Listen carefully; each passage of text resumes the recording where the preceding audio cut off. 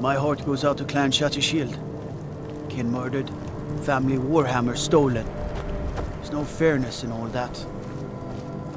What business do college mages have in a place like Saarthal anyway? It's a place for Nord dead. Bunch of weird experiments. Oh, pardon me. Was I in your way? I hope someday we'll get to know each other better. My pa used to say, there ain't no use worrying about the things you can't change.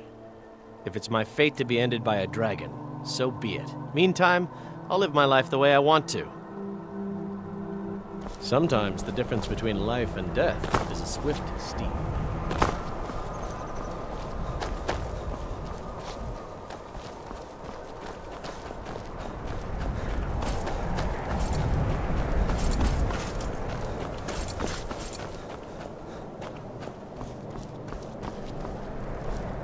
You like me, eh?